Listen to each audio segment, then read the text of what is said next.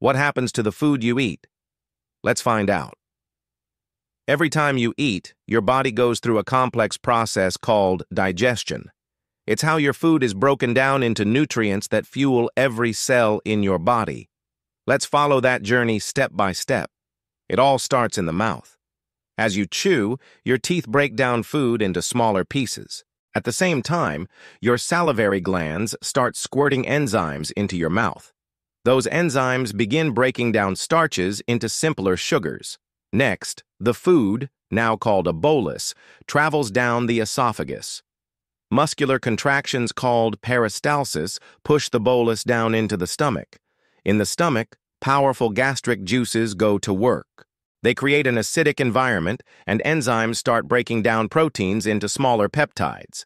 The stomach also churns food, mixing it into a semi-liquid substance called chyme. Next, chyme enters the small intestine. Here, Enzymes from the pancreas break down carbs, proteins, and fats.